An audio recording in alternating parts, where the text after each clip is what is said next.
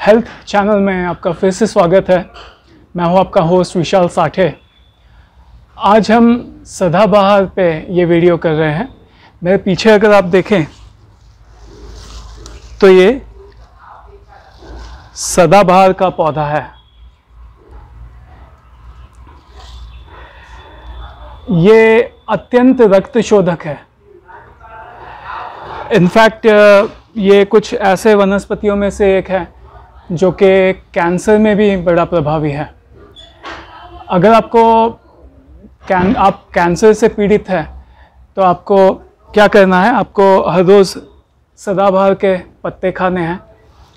साथ ही साथ आपको भृंगराज के भी पत्ते खाने हैं। ये भृंगराज यहाँ पे है।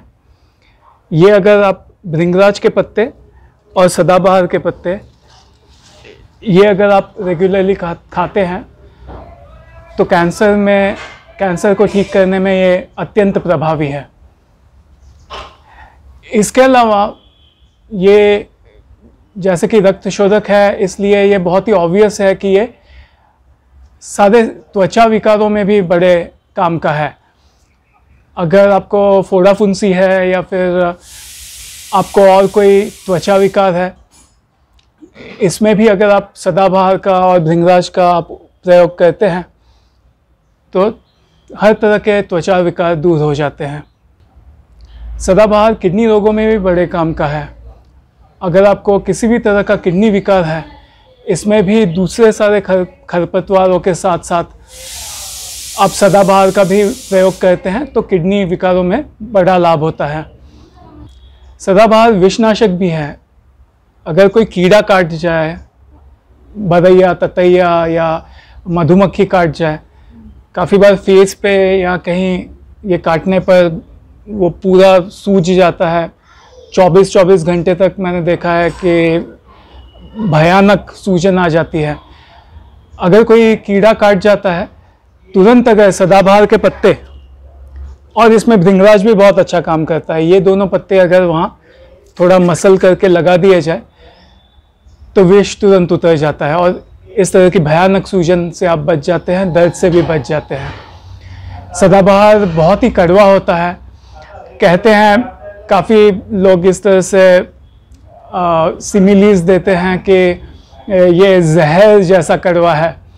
सही है, ये बहुत ही ज़्यादा अत्यंत कड़वा होता है। लेकिन इसका ये फ़ायदा है कि ये डायबिटीज़ में भी बड़े काम का है।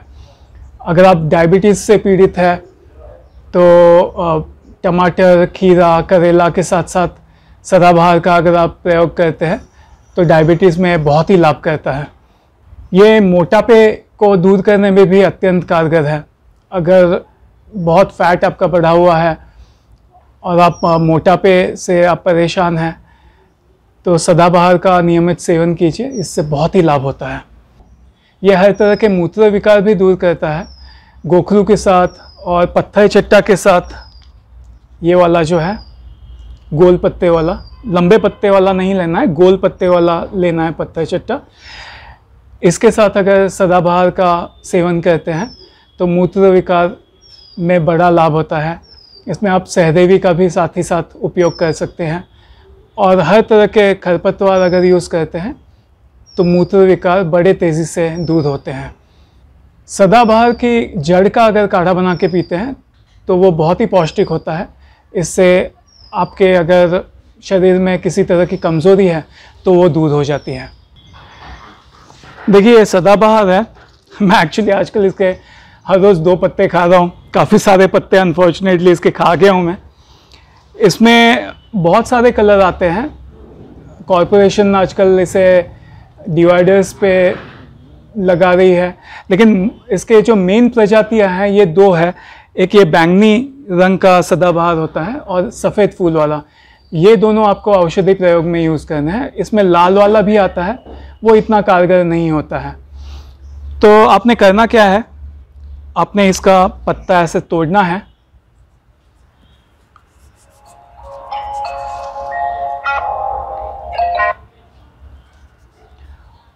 आपने इसका पत्ता इस तरह से तोड़ना है और इसे खा जाना है। यह अत्यंत ही कड़वा है, बहुत ही ज़्यादा कड़वा। तो काफ़ी डिस्कम्फर्ट होता है, लेकिन मैं आपको एक टेक्निक बताता हूँ जो आजकल मैं यूज़ कर रहा हूँ। आपको करना क्या है?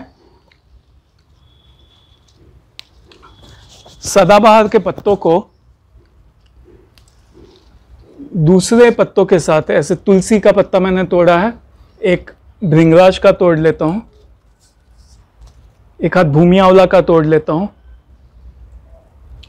देखिए, मैंने ये भूमि आंवला लिया है, ये भृंगराज है, ये तुलसी है और सदाबहार है। ये साथ में